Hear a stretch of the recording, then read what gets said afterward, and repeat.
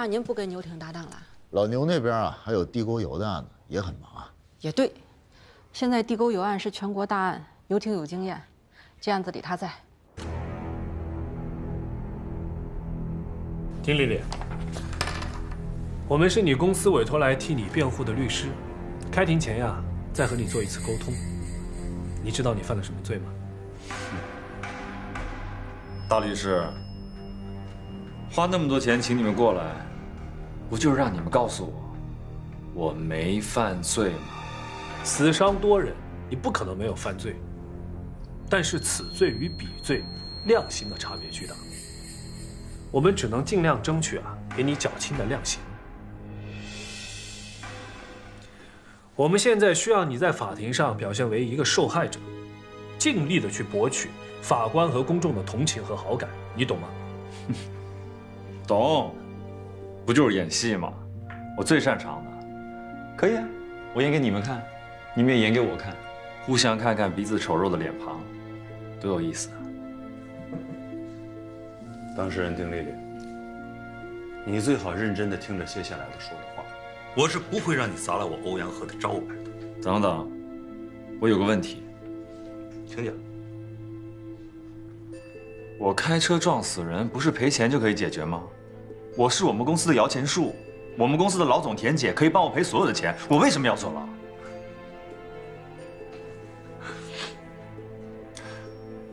我就喜欢你这种人。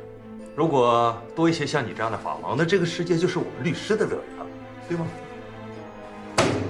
坐正你的身体，认真听着。车祸若构成交通肇事罪，量刑三至七年。可这次检察院是以危害公共安全罪的罪名对你提起公诉，此罪重则十年以上，以至无期，以至最高可达死刑。这个差别你心里明白吗？所以你最好想清楚。不是我想，想不清楚你就死定了。走。现在开庭。根据《中华人民共和国刑事诉讼法》的规定，本庭依法公开开庭审理齐州市人民检察院提起公诉的被告人丁丽丽以危险方法危害公共安全一案。本案由审判长齐恒、审判员王默、马拉松共同组成合议庭，书记员付子香。担任庭审记录。现在开始法庭庭审调查。首先由公诉人宣读起诉书。好的，审判长。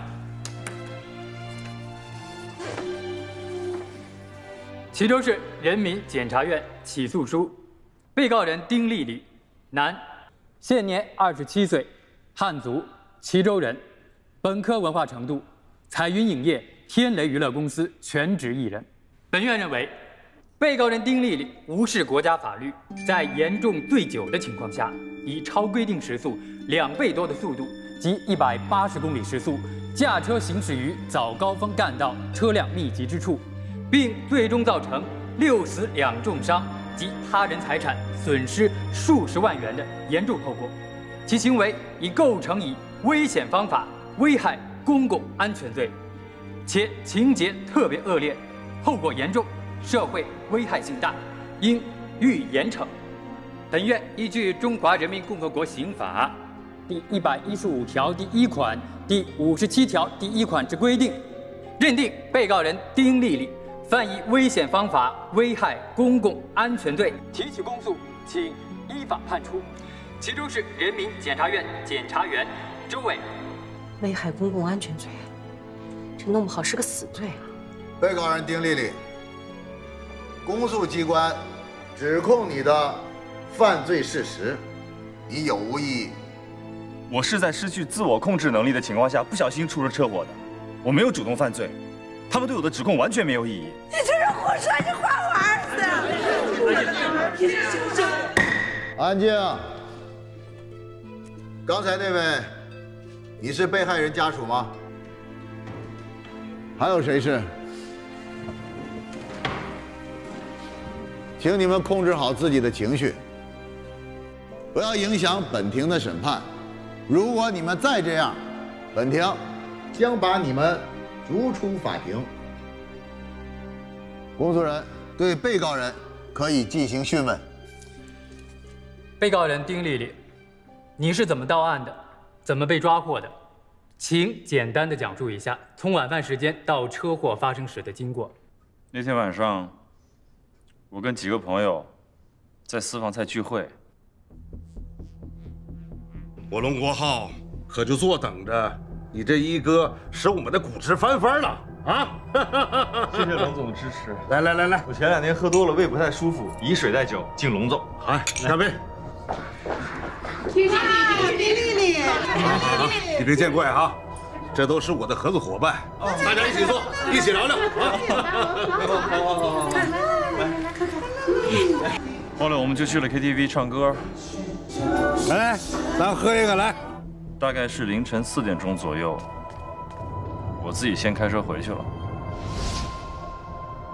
大概凌晨五点钟，我还没有睡着，我就想出去兜风，就开车出去了。没想到出了车祸，然后就在现场等候警察来处理。那发生车祸时，你记得你的驾驶时速是多少吗？我就是正常行驶，没注意。那交警到达现场后对你进行酒精测试了吗？结果是多少？有，但我没看到结果。你的这辆奔驰 SUV 购置于什么时间？今年上半年吧，大概几个月以前。那你有取得过中华人民共和国机动车驾驶证吗？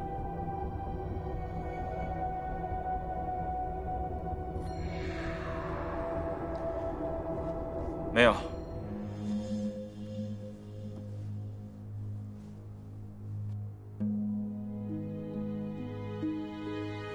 那你有在国家认可的正规的驾校培训学习过吗？也没有。行吧。那下面来说说你喝酒的情况。那天晚上，大家聊得比较尽兴，都喝了酒。我有点不太舒服，基本上没喝。他们是谁？喝的什么酒？彩云集团的龙总，还有他的几个朋友，喝的是白葡萄酒吧？你平常的酒量如何？一瓶白酒，一瓶洋酒，不是问题。你平常最喜欢喝什么酒？我喜欢喝苏格兰威士忌，比较高档。我不喜欢葡萄酒。审判长，公诉人讯问完毕。辩护人对被告有无发问？没有。被告人丁丽丽，现在回答法庭的提问。你一共撞了几辆车？不清楚。现场一共五车相撞，你是撞到第一辆车之后就等候交警来处理的吗？我当时，我当时太困了，好像有点神志不太清，我记不清楚了。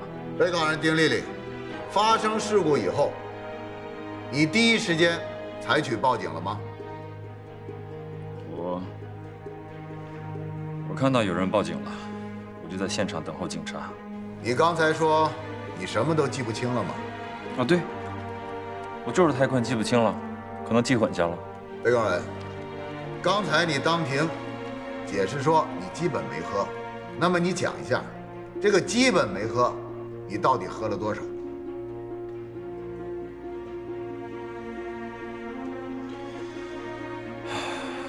当天肠胃有点不太舒服，我好像喝了点也好像没喝，反正肯定没有喝醉。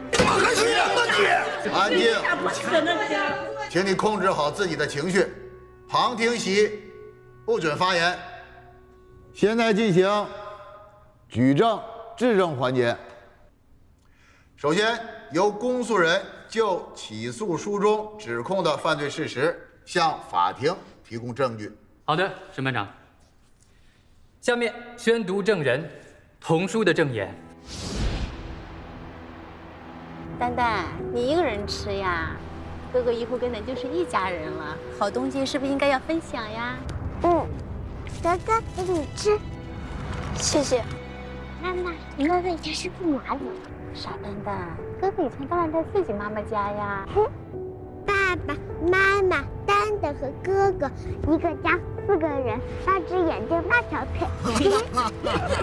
以后哥哥跟着你经常在一起好不好？不好，咱们要跟哥哥一直在一起。对，永远在一起。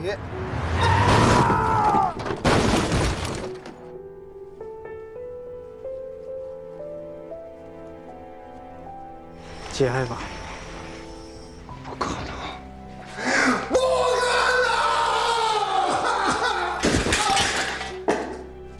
下面宣读证人易可人的证言。那天，我老公去机场接客户，他知道我快生了，他就拼命的往回赶，拼命的往回赶。现在羊水已经破了，我不知道该怎么办。刚做完剖腹产手术，不要乱动。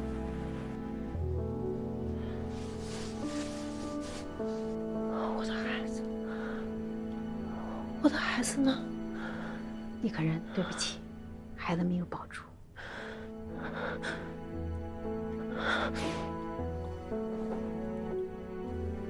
那那我老公呢？你老公今天在跨江大桥上出了连环车祸，没有被抢救过来。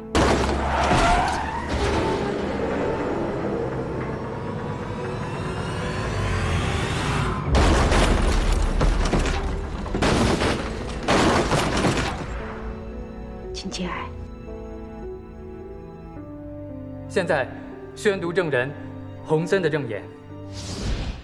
我爸是搬家公司的装卸工人，几十年只认埋头干活，勤劳致富，能有出息。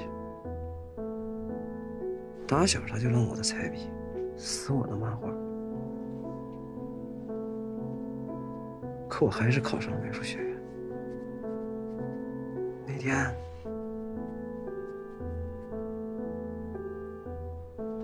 他就是撕了我的录取通知书。哼，学美术，你吃什么喝什么呀？我告诉你啊，我们不可能养你一辈子。谁说画画赚不了钱？人家现在靠卖画也能赚大钱，我能养你。人家赚钱啊，那是因为人家出名了。你有那能耐吗？你养我，我都快五十了，我能等到那一天吗？我去打工呀，我去兼职，我不睡觉，我不谈恋爱还不行吗？只要您同意我画画，其余时间我都去挣钱，行不行？你眼里只有钱，你从来没有问过我。可我喜欢画画呀，喜欢有个屁用！我告诉你啊，我是过来人，我是为你好，你懂吗？你妈妈每天都伺候四个老人，你不能让她去伺候你，你这叫不孝！哎呀，行了，他爸，你也别上火了，儿啊。你也少说两句吧。我告诉你啊，只要我活着一天，你就不能去学美术。我为什么是你儿子？我恨你！你再给我说一遍！啊！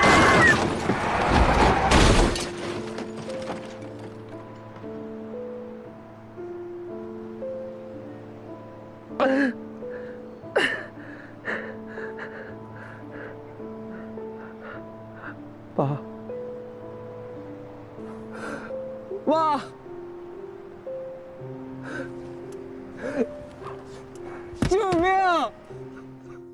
下面是被告人丁丽丽血液酒精含量检测报告，请法庭传证人到庭。被告人当天在现场进行了血样抽取，抽血检测结果显示为每一百毫升血液含一百八十三点四毫克酒精，属于醉酒驾驶。辩护人是否有意见？有，辩护人有很大的意见，请法庭注意。按照规定，血样三日内送检，且三日内出具鉴定报告。本次事故发生当日是九月十一号，而公诉人提交的这份血液提取登记表上，日期栏填写的却是十七号，相差整整六天。辩护人对这份血样的真实性存疑。其二，辩护人再提醒审判长注意，请仔细看消毒液名称一栏，本栏中明确注明是康必利消毒液。该消毒液的主要成分是乙醇，含百分之七十五的酒精。检测血液酒精含量，依照严格规定是不应用酒精类药品对皮肤进行消毒，因其很有可能污染抽取血样。因此，依照该血样做出的鉴定结论，不应作为定案证据。其三，在这份血液提取登记表上，明确注明抽取一号血样五毫升和二号血样六毫升。而在这份血液酒精鉴定意见上，注明的是提取一号血样六毫升，容量有出入啊！辩护人有理由相信，该血样存在变质、调换、污染等人为因素的风险，应当予以排除。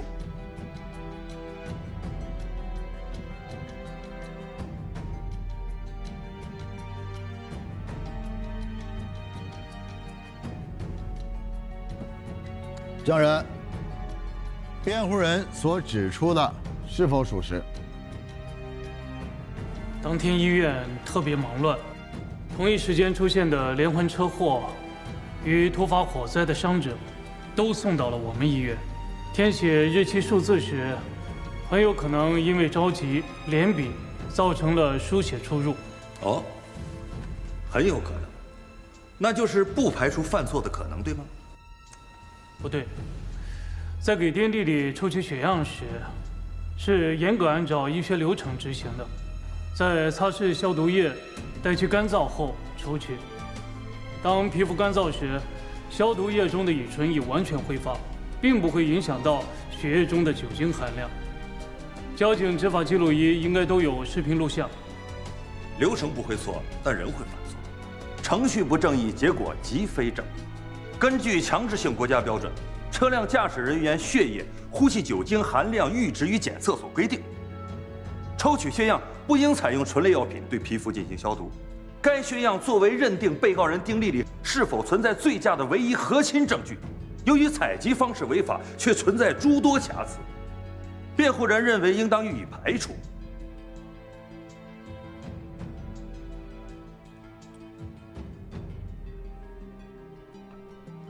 审判长。公诉人请求对封存血样进行二次鉴定，反对。采集方式已经违法，二次鉴定不具任何意义。公诉人，你是否还有其他能证明被告人有醉酒的其他证据？审判长，据记录，案发当天交警所使用的呼气酒精测试仪曾经显示，被告人丁丽丽的呼气酒精含量数值为一百三十四。这远远超过了国家规定的每一百毫升血液含八十毫克酒精的醉酒标准。快点！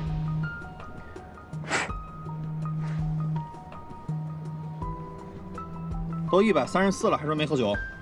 带走！据辩护人了解，呼气酒精测试仪于当日在现场已被摔坏，测试仪器的精准性本身也值得怀疑。按照惯例。呼气酒精测试结果不宜单独作为定案证据。法庭认可辩护人的意见。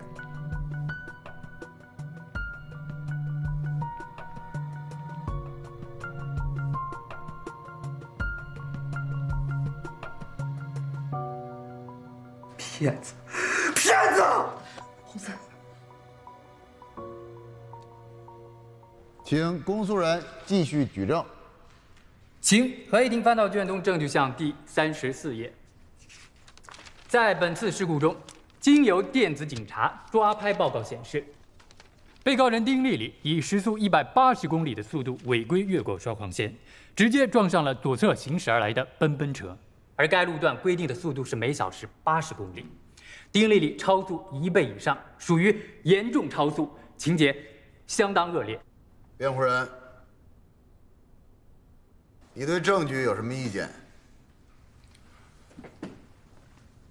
审判长，辩护人没有意见，但辩护人想强调的是，被告人丁丽丽并非自愿超速行驶，而是在被迫甚至无奈的条件下，本能的想反抗逃生，才一时大意超过了规定时速。被告人丁丽丽客观来说只是一名幸存下来的受害者。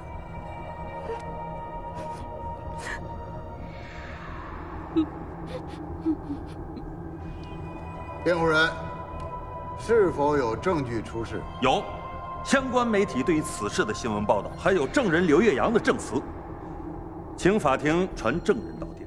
好，通知本案证人刘月阳到庭作证。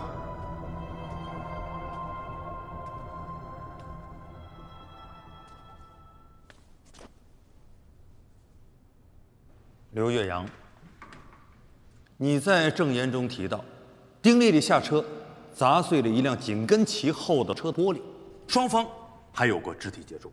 随后，丁丽丽上车开走了，是吗？是这样。那记者是否受伤？女记者有受伤。那是否立刻去了医院？当丁丽丽跟记者发生冲突的时候，我曾上前询问过她是否需要帮助。但女记者却让他的男同事很快上了车，车开出去没多远，前方就发生了车祸。两名记者呢，也第一时间在现场进行了拍摄记录。那是否还记着丁丽丽上车时候的状态如何？情绪非常激动。哦，那是否说明，因为娱乐记者的穷追不舍，被告人丁丽丽在压力之下做出了失去理智的行为？首先。砸碎了记者的玻璃，随后，因为仍然不能摆脱，于是，在逃避中，导致驾驶失控，酿成悲剧。我只能说，存在这样一种可能。好，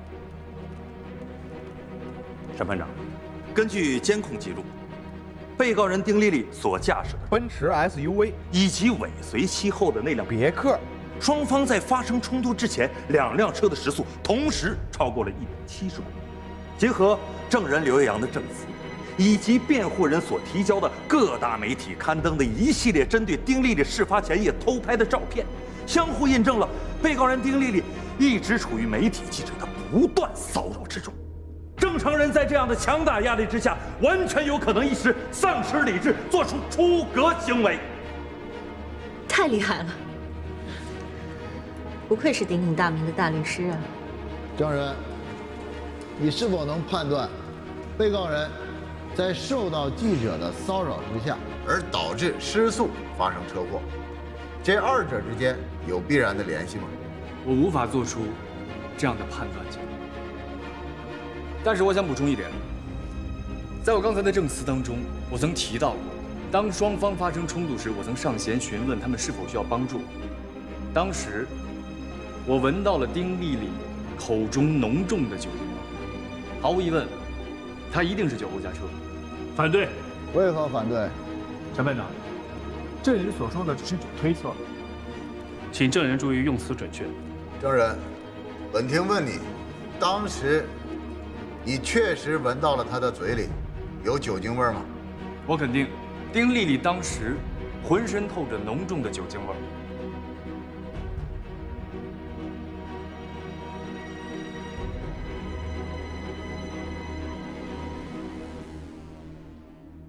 我叫米柔，二十九岁，是齐州娱乐周刊的记者。那案发前一天，你是否对被告人丁丽丽进行了跟踪拍摄？是，报社收到线报，丁丽丽这次回齐州是要和神秘女子约会，所以从她下飞机开始，我和我的同事就对她进行了蹲点跟踪。快快快快快！今天有大新闻啊，千万别给我拖后腿啊！好嘞，我知道了。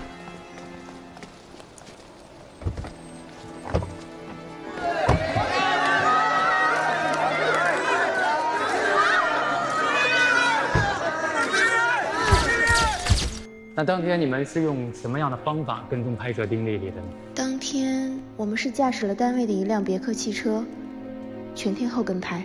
在你们跟踪拍摄的过程当中，是否采取了什么过激的手段，会对被告人丁丽丽的人身安全构成一定的威胁？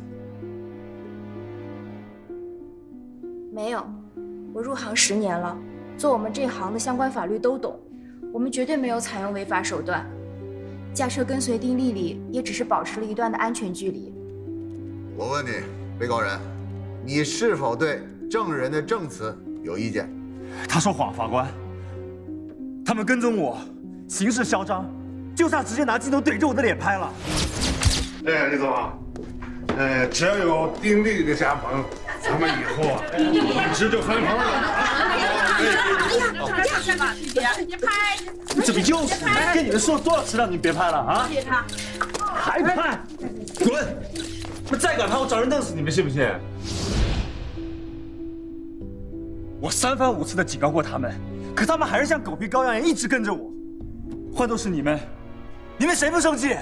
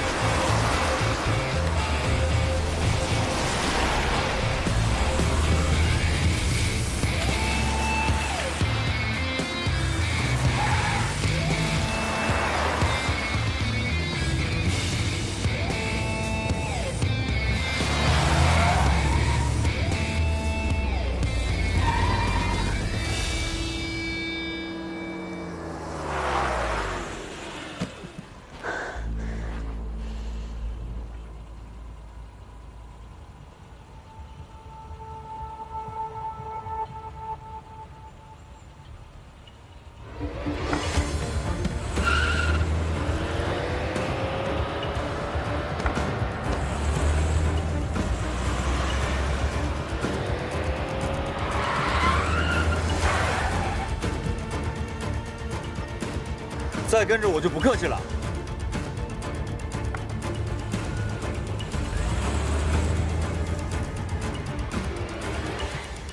闯红灯，深更半夜不开车灯，在公路上高速行驶，难道这些都不危险吗？啊！你们已经跟踪我半年了，你们到底还要跟踪我多长时间？证人，刚才被告人说你跟踪他长达半年，情况是否属实？这半年我们确实是在跟丁丽丽，但我也强调，我们绝对坚持了身为记者的原则。陈班长，记者跟拍被告人丁丽丽长达半年之久，给被告人的身心造成了巨大的伤害，也是造成此次车祸的源头。可以说，对名人的隐私权造成侵犯的媒体才是真正的凶手啊！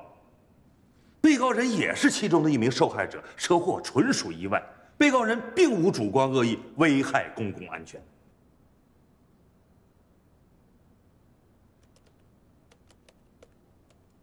龚主任，你可以继续发表意见。好的，沈班长，请合议庭翻到卷宗证据箱第五十八页。证人，我这里有一组照片，需要你确认一下，看看是否是你拍摄的。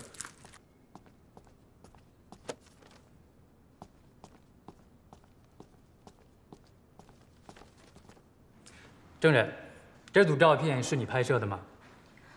是，警方要求协助调查，我们提供了相机卡中当天拍摄丁丽丽的所有照片。好，那请证人再明确回答，是在哪里、什么时间拍摄的这组照片？这组照片是从 KTV 出来之后，跟随丁丽丽去她的住宅玉岭城花园小区拍的。好，那我们请法庭着重看第四号照片。通过这张照片，是否能够看到被告人丁丽丽正在喝一杯褐色的液体，而被告人面前的桌上摆放的正是一瓶被告人最喜欢的威士忌洋酒。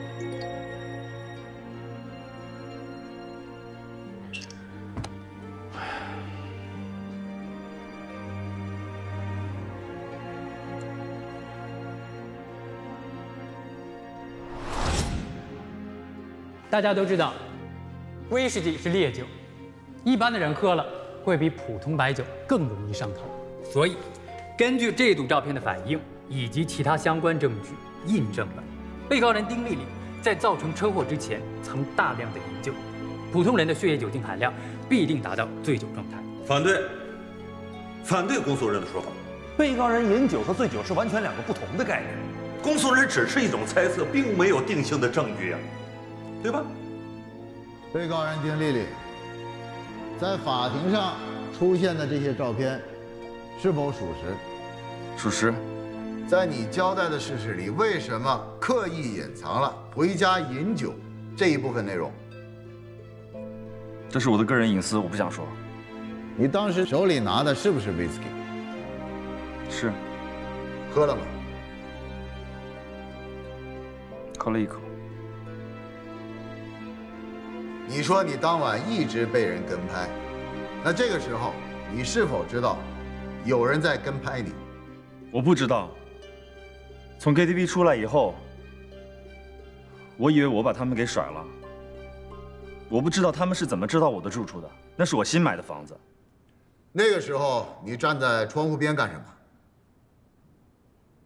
那个时候有个神经病大半夜的在外面放烟花。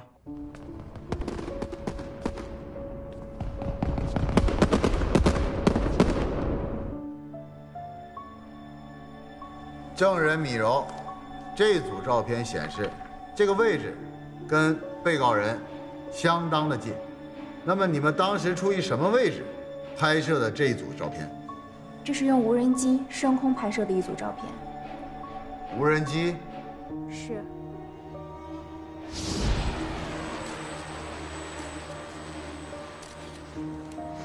我来。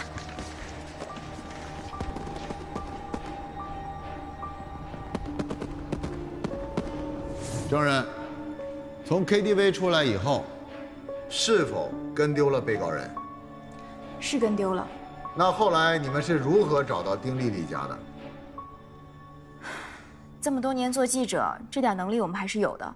我们有自己的线报。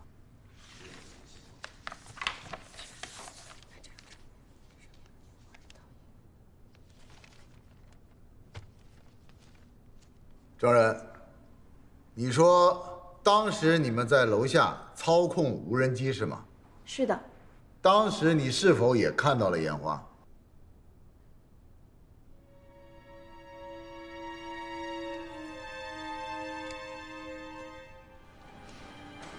没有。你说谎。证人，如果是凌晨五点左右，有人在小区放烟花，应该是非常明显。你在室外作业，你甚至连听也没听到，看也没看到，是吧？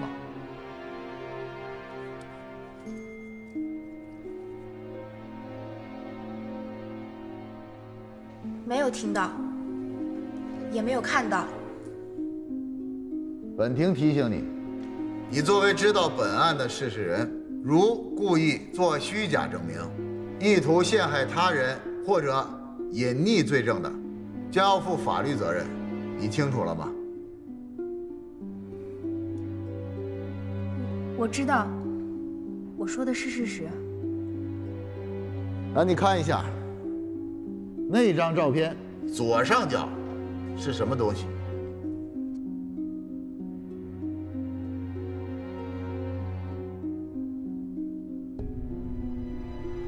证人，你为什么要说假话？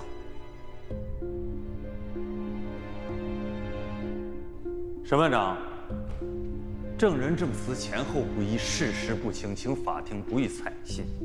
辩护人认为，公诉方错将被告人丁丽丽判定为醉酒驾车，其酿成事故的超速原因也是事出有因，情有可原呐。那么在此次事件中，不顾一切跟拍偷拍记者的行为，才是一切原因的导火索，依法应予追究记者的责任。而被告人所犯最多只是交通肇事罪，而并非危害公共安全罪，请合议庭慎重考虑。追究我的责任？凭什么追究我的责任啊？要追究也是丁丽丽的公司，她想红想炒新闻，所以主动给我们线报，要不然我们能随时跟得这么紧吗？要追究也是他们整个团队自己运作的责任。你说什么？是我公司让你跟踪我的？你以为呢？你的手机定位早就被你的经纪人监测了，每次都是他主动告诉我们你的位置，还千叮咛万嘱咐的说，标题要越爆越好，版面要越大越好。要不为什么那么多明星拿我们记者没有办法呢？因为这就是一个互利互惠的需求体系。想让我们拍的小明星多的是。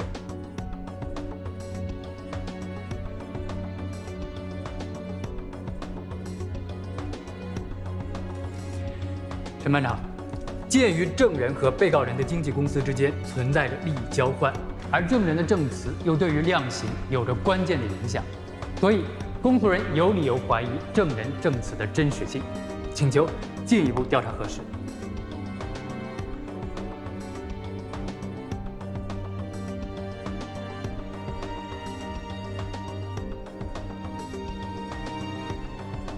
经过以上开庭审理，本庭充分考虑，认为质证环节的证人证言中出现了诸多与庭前准备时所提供的材料相悖之处。本庭认为，关键证据还需进一步调查核实，择日再审。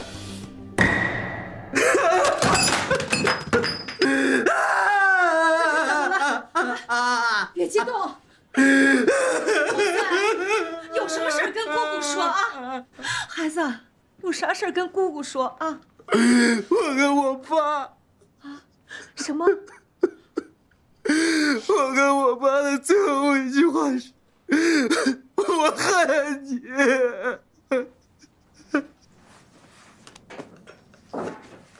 啊！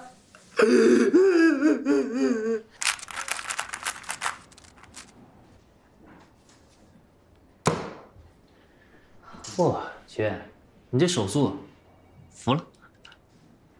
不是很快，主要是解压。聊聊这个案子都有什么想法？我觉得丁丽丽这个案子吧，无证驾驶肯定是板上钉钉，没什么好说的了。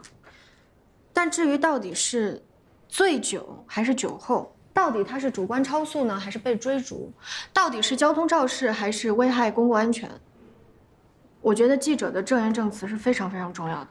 没错，记者的证言证词虽然不能影响咱们案件的定性，但却是咱们法庭呢酌情考虑量刑的重要因素。嗯，我觉得今天公诉人说的话好像有点道理。公诉人说，那个记者有可能是被丁丽丽的公司给收买了，然后作证说，因为他们的尾随，所以造成了丁丽丽的客观压力。有没有这种可能性，齐远？所以说啊，各种可能我们都要想好了，进一步的调查核实，然后准备二次开庭。不过今天这个欧阳和呀，的确给检察院的同志来了一个措手不及。对呀，他怎么那么厉害啊？我在备案的时候，我就觉得这案子肯定是板上钉钉，毫无疑问。没想到他三言两语直接给了一个大逆转。这个欧阳和有点意思。嗯，他今天啊，不仅是给我们上了一课，也提高了一下我们法官的素养。这个律师啊，和检察官在辩论当中会使用大量的辩论技巧，来模糊这个法律的边界，从而使啊大量的利益都靠向自己这一方。而我们法官要做的是什么呢？保持标准，拿证据做基础，我们绝不偏听偏信。封总一个电话接一个电话的打，看来挺着急。他说，要是再见不到你，他就要被拘起来了。这，真是莫名其妙，让我给他帮忙收购地沟油的许可证，好，说是什么高科技生物油，你看，现在出事了吧？记者别理他。那一概不管。当然了，还有啊，让他这辈子不要踏进我这栋楼。好的。欧阳律师，我们接下来怎么做？通知他们公司行动起来，立刻上线，要快要快。明白。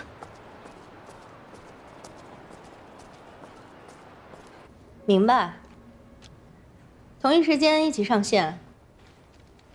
小梦，哎，田姐，法律专家和学者都联系好了吗？早就联系好了。这些专家学者教授彼此竞争非常激烈，我们答应给他们曝光率，增加流量，在公共世界上帮他们开辟一席之地，他们也是相当积极的。这两个案子都在齐州中原。啊，是。哦，那我出去了。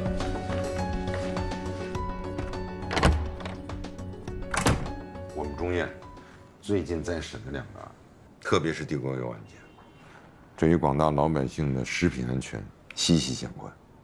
老牛，有什么困难？哎呀，这个地沟油案件啊，现在复杂了。被告方的辩护律师说，他们的油不仅没问题，而且就连他们的生产手续也没有问题。